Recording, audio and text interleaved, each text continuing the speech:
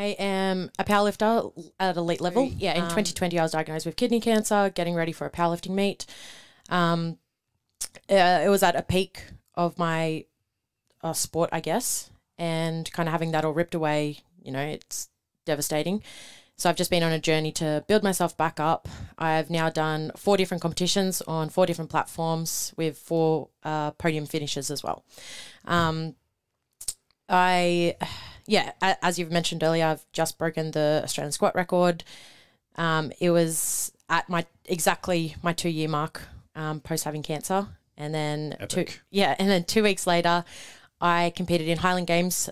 Had never ever done it before. Had one practice at weight over the bar, so just a quick training session, practicing over a cricket fence, and yeah, came in as the underdog and end up taking away the Australian record. Be your advice you could give for some people in the general population who are like thinking they need to smash out their their two a day sessions six days a week Yeah, to make progress.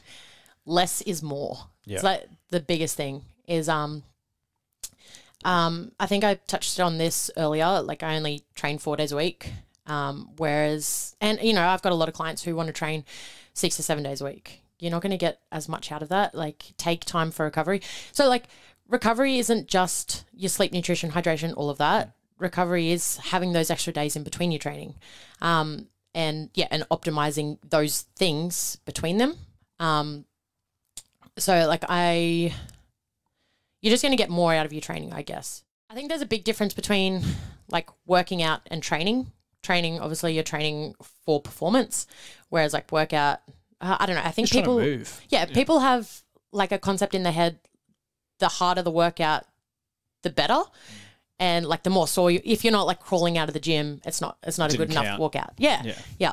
Um, whereas I like with my compound lifts, especially in my off season, I'll only train like 60, 70%. Yeah. Like I'll go 100% effort all the time, but like my compound lifts will only ever be like 60 to 70%. Yeah. So, and particularly at the beginning of a prep, um, like especially with powerlifting and strength in particular, I don't ever want to be training at the 100%. Is you don't necessarily get stronger there.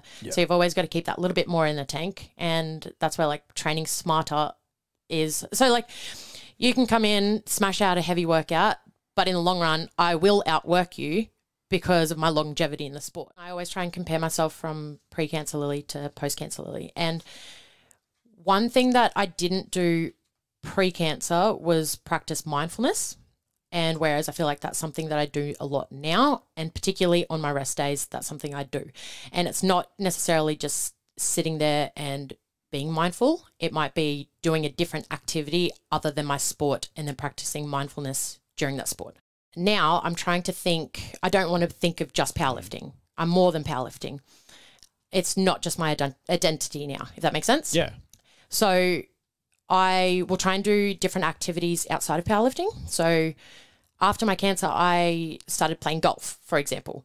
And I bet you can hit that ball a fucking long way. I, I like I'm getting better. I'm getting better. it's it's been a long journey to Yeah. yeah. it's so hard and frustrating.